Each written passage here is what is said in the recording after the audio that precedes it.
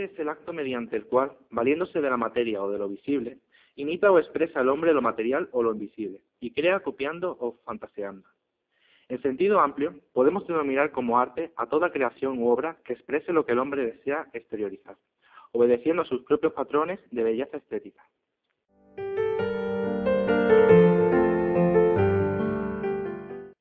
Nos hemos preguntado a cada uno de nosotros mismos qué es para mí el arte, intentando buscar así nuestro concepto de arte, pero no es el definitivo, sino un leve pensamiento hasta obtener una conclusión definitiva.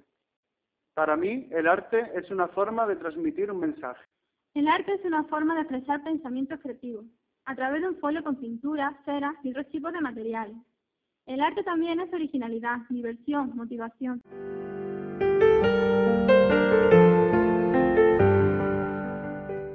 Para mí el arte es una forma de expresar algo abstracto, como son los sentimientos, a través de un medio, ya sea visual, táctil o auditivo.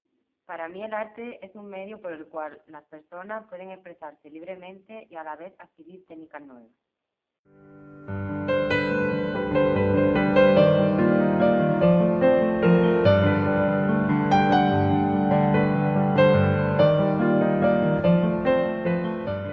El arte de crear formas expresivas de tres dimensiones reales.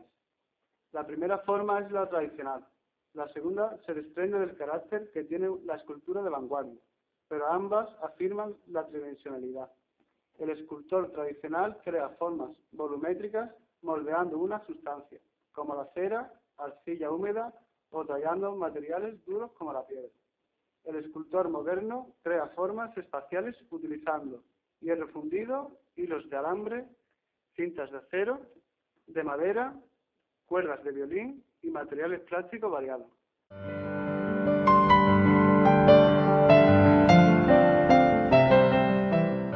arte de construir y proyectar esculturas. Se dice que solo es arte cuando la construcción es expresiva de la voluntad espiritual de una época, y esa expresión arquitectónica es el resultado de todos los elementos constituidos que emanan esencialmente de las relaciones que se entablan con el espacio que conforma la obra y el espacio que lo, que lo circunda.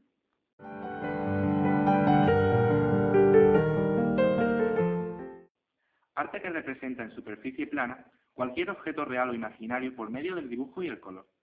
Los más antiguos del arte humano son dibujos y pinturas que los primitivos dejaron en cavernas prehistóricas, llamadas pinturas rupestres. La pintura al fresco se aplica a paredes y techos usando colores disueltos en agua y cal. Al óleo cuando ha sido elaborada con colores diluidos en aceite secante, por lo general sobre una tela. La acuarela emplea colores transparentes diluidos en agua. En la llamada de porcelana se usan colores minerales endurecidos y unidos por medio del fuego. Consiste en la realización de diferentes esculturas, imitaciones de pintura, utilizando como material pequeñas piezas de plástico que encajan unos en otros. El Lego apareció hace 75 años y desde entonces ha sido utilizado tanto por niños en sus juegos como por algunos adultos en sus obras.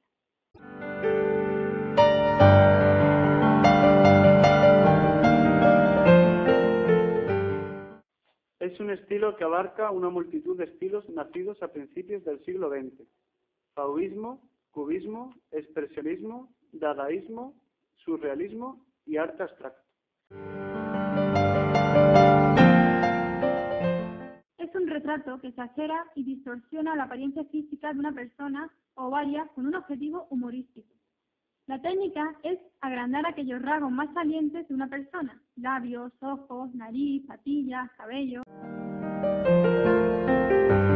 Consiste en el uso de arena fina y una mesa de luz, donde a través de los contrastes con el paso de la luz se logra plasmar algunas historias.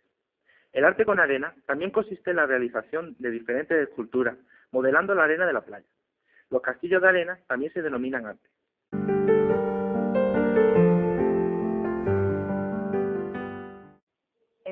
expresiones de arte urbano más populares y características de la actualidad.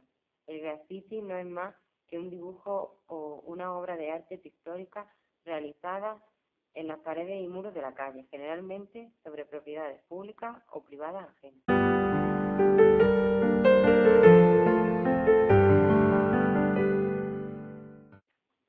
Es un género que representa figuras humanas despojadas de vestimenta, cuyo origen se remonta a los inicios del arte prehistórico. Alcanzará su apogeo durante la Antigüedad clásica y el Renacimiento.